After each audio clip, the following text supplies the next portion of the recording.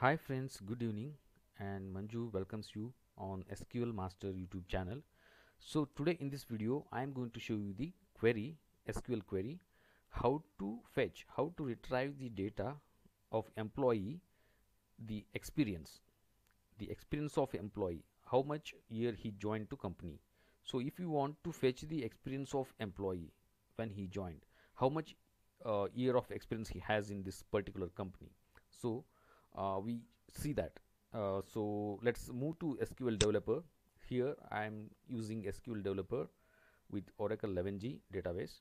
And so this is what uh, my table is here. So employees select star from employees. And these are the data here. You can see here these are the datas. And if you right click here and click on count rows it will show you 107 rows. So let us move to write the query. Uh, how you can retrieve the employees experience in particular company. Okay. So I write the query here and la then later explain you the query. Okay.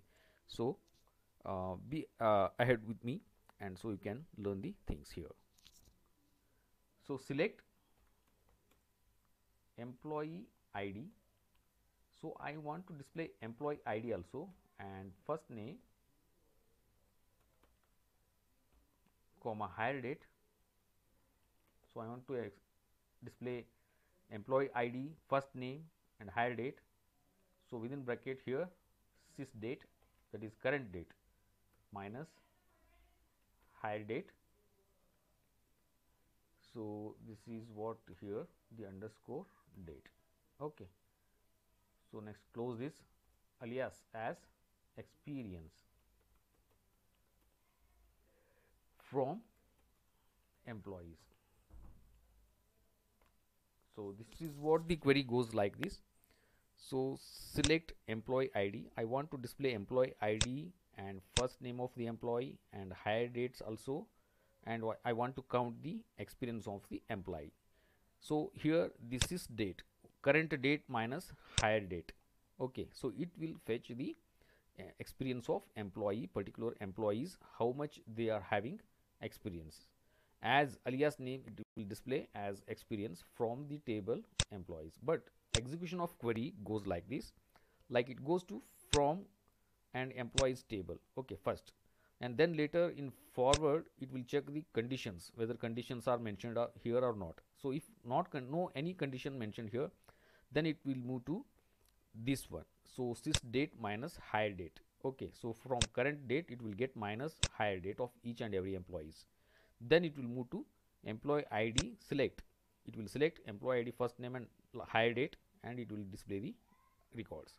So this is what the logic of the query goes like this.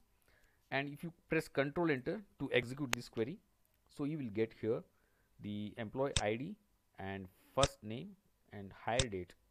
So you can observe the things here hire date and experience. But you are getting experience here in months and here this is after decimal point. This is a very long digits. Okay. So in real time you, you are unable to fetch like this. Okay. So you want in round figures. So what you have to do is here you have to use round function. So round and press control enter. So it will fetch you the months experience. Okay. So see here. 7139 the Steven uh, has experience. 7139 months of experience he has in this organization particular organization. And the second one Neena is having 6312 months of experience.